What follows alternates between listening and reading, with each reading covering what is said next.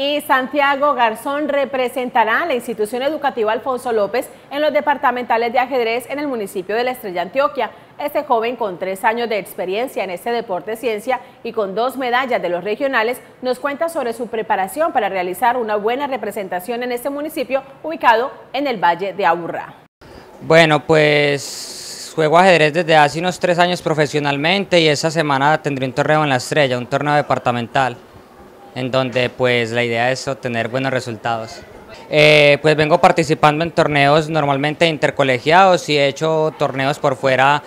El último torneo que jugué, aparte de intercolegiados, fue un torneo internacional en la ciudad de Bogotá, en donde logré quedar de primero en mi categoría y, y quedar de tercero en la general.